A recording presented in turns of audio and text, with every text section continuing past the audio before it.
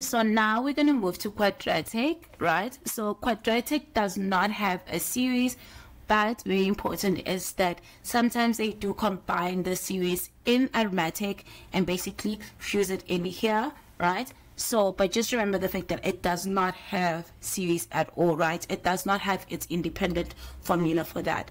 And also, if you're struggling with number patterns and want to see the relationship between arithmetic and the quadratic and how series is infused, it's in my course. I have questions on that. And the course is only 190 Rand. It covers everything that you need to know for number patterns, right? and I'm going to leave it is going to be up in the eye and it's also going to be in the description and also the quiz that covers every question under quadratic um, it's going to be down in the description. So with that said, let's answer this question. So it says, given that the quadratic number pattern is equals to negative 4, negative 6, negative 10, and negative 16, and they say the fact that we need to determine Tn. So with that said, the first thing that we need to do, I'm just going to rewrite this whole thing. So it's going to be negative 4, right? It's going to be negative 6, and it's going to be negative 10, and it's going to be negative 16, right? So we're going to find the first difference first, right? So finding the first difference is going to be negative 16 minus minus negative 10, which is going to give us negative 6. That is going to be negative 10 minus minus 6 is going to give us negative 4. And the last one is going to be negative 6 minus minus 4, which is going to give us negative 2.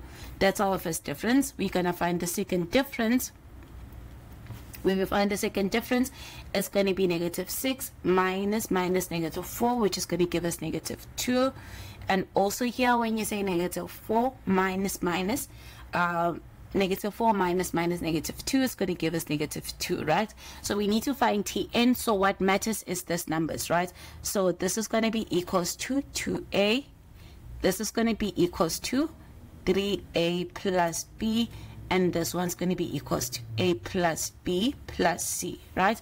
So we always start from the bottom and solve going up. So it's going to be the same as 2a is equals to what? Is equals to negative 2 right? So with 2a is equals to negative 2 divide both sides by 2 so it's a is going to be equals to negative 1 so we already found our a right? Then the second one is going to be what? Is going to be 3a plus b is equals to negative 2. Substitute your a. So it's going to be 3, negative 1 plus b is equals to negative 2. So this is the same as negative 3 plus b is equals to negative 2. When you take the negative 3 to the other side, which is going to be positive, it's going to be negative 2. So it's going to be b is equals to negative 2, right? Plus what?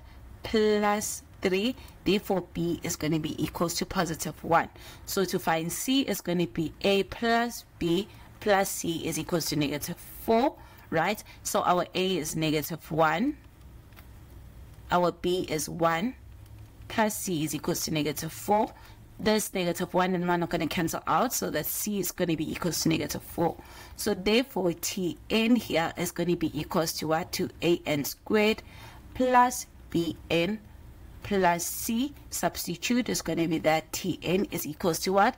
Is equals to negative n squared.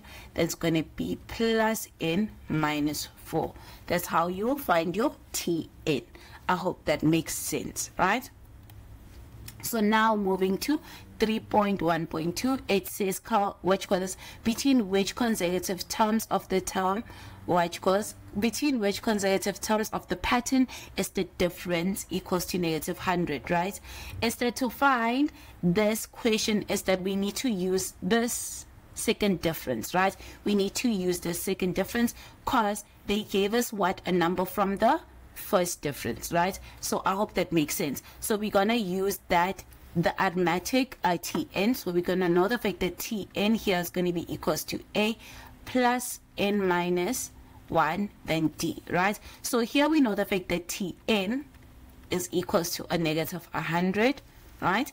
Go up tn is equals to negative 100 and since we're using the first difference is that a is equals to this number the first term from the first difference so a is equals to what go here is going to be equals to negative 2 then our d also is equals to negative 2. So it's going to be equals to negative 2. Right?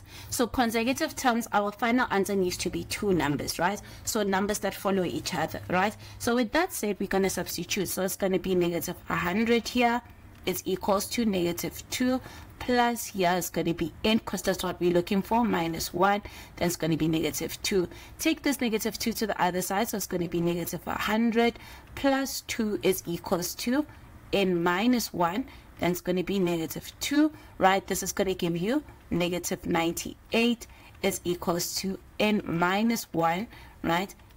Divide and multiply by negative 2 then what we're going to do is that we're going to divide both sides by negative 2 so it's going to be negative 98 divided by negative 2 is equals to n minus 1 when we do that we're going to get that our answer is going to be what? A positive 49 is equals to n minus 1. Take the 1 to the other side, so it's going to be 50 is equals to n. They said two consecutive terms, so our answer is going to be 50 and the next term. What is the next number after 50 is 51. So your answer is going to be 50 and 51. So that's how you would answer this question.